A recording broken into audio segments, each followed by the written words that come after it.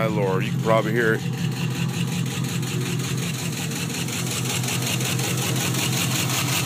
God.